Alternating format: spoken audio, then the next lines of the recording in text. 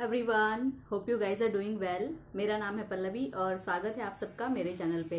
अगर आप पहली बार मेरे चैनल को विज़िट कर रहे हैं तो सब्सक्राइब करना बिल्कुल भी मत भूलिए, ताकि हर नया अपडेट और हर नया वीडियो आप तक पहुँचे, वो भी बिल्कुल टाइम पे। साथ ही में मेरे वीडियोस को लाइक करना बिल्कुल भी मत भूलिए, ताकि ये इन्फॉर्मेशन जो है, वो ज़्यादा से ज़्यादा लोगों तक पहुँच सके। आज मैं आप सबसे बात करने वाली हूँ गायनासेट फाइव एम टैबलेट के बारे में।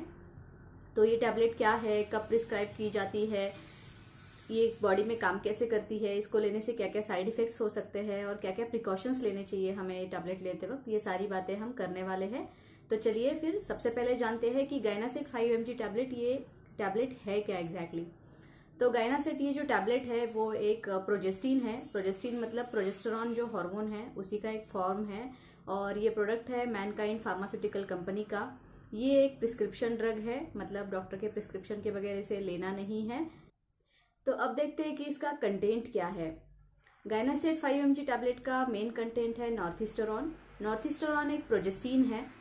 प्रोजेस्टीन मतलब सिंथेटिक फॉर्म होता है प्रोजेस्टोरॉन हार्मोन का। प्रोजेस्टोरॉन एक फीमेल सेक्स हार्मोन है जो हर वीमेन की बॉडी में होता है और जो बहुत ज़रूरी होता है प्रेगनेंसी के लिए।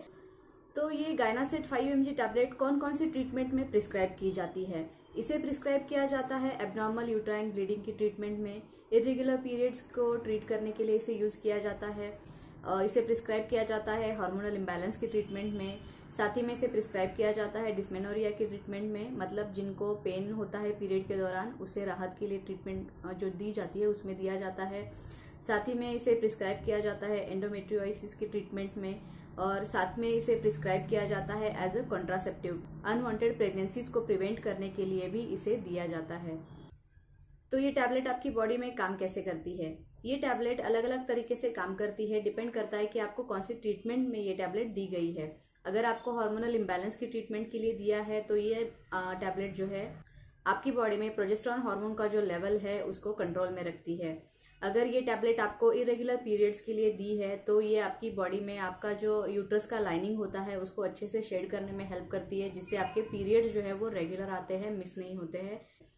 अगर आपको एज ए कॉन्ट्रासेप्टिव के तौर पे दिया गया है तो ये क्या करता है कि आपका जो वाइट डिस्चार्ज होता है, जो कि हेल्प करता है स्पर्म्स को एक तक पहुँचने के लिए, उसे गाढ़ा कर देती है, जिसकी वजह से आपका जो स्पर्म है वो एक तक नहीं जा पाता है। जिसकी वजह से आपकी प्रेगनेंसी जो है, उसके चांसेस कम हो जाते हैं।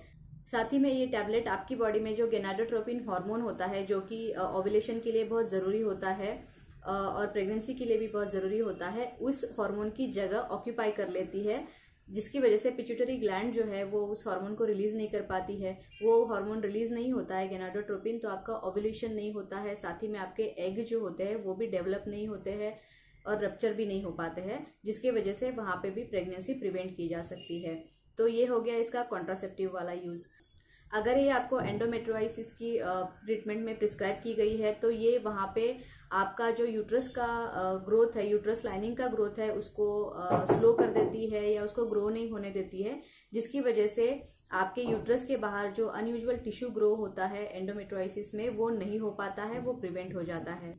अब देखते हैं कि ये टैबलेट लेने से आपको कौन कौन से साइड इफेक्ट्स दिखाई दे सकते हैं। साइड इफेक्ट्स जो है, वो बहुत ही कॉमन है, जैसे कि आप चार्ट में भी देख पा रहे हैं। हेडेक होता है नौशा होता है, आपका ब्रेस्ट टेंडरनेस आपको फील हो सकता है।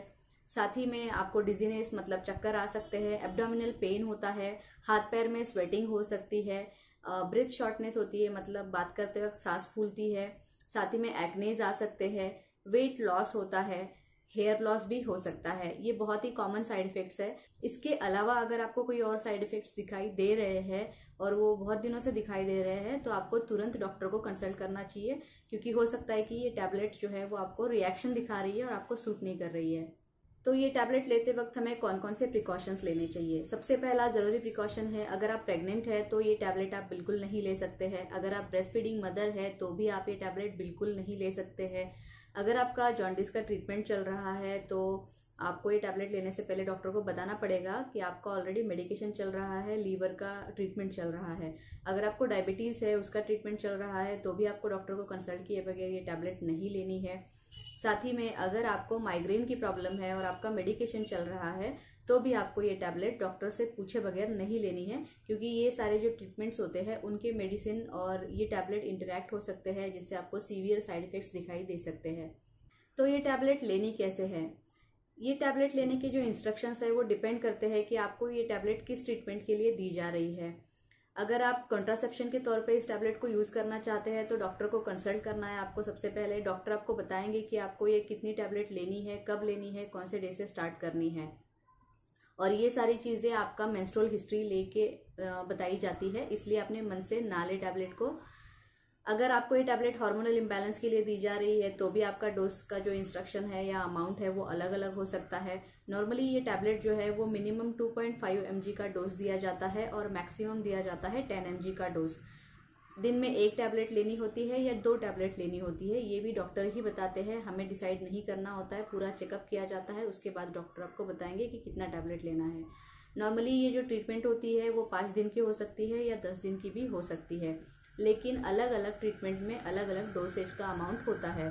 साथ ही में एक और बात होती है, जब आप ये टैबलेट लेते हैं हार्मोनल इम्बैलेंस के लिए या अनयूजल जो आपको ब्लीडिंग होती है हार्मोनल इम्बैलेंस की वजह से उसकी वजह से जब आप ये टैबलेट लेते हैं तो हो सकता है कि आपके पीरियड डिले हो जाए। नॉर्मली ये टैबलेट जो होती है लास्ट पिल लेने के 15 से 20 दिन बाद आपको पीरियड आते हैं। किसी किसी को जल्दी भी आते हैं, लेकिन तुरंत पीरियड नहीं आते हैं। तो अगर आपको डॉक्टर ने हार्मोनल इम्बैलेंस के लिए ये टैबलेट दी है तो पैनिक ना हो, आपके ड्यू डेट तक वेट करें पीरियड की, और उसके बाद ही अगर नहीं आते हैं पीरियड तो ही डॉक्टर को कंसल्ट करें। तो होपफुली आपको समझने में आसानी होगी मेरे इस वीडियो से कि गायना से टैबलेट कैसे काम करती है और उसके क्या क्या यूजेस है। तो आज के लिए बस इतना ही। मैं आपको मिलूँगी नेक्स्ट वीडियो में कुछ नई इन्फॉर्मेशन के साथ और कुछ नए टॉपिक के साथ। तब तक आप अपना ख्याल रखिए, खुश रहिए, मुस्कुराते रहिए। Bye bye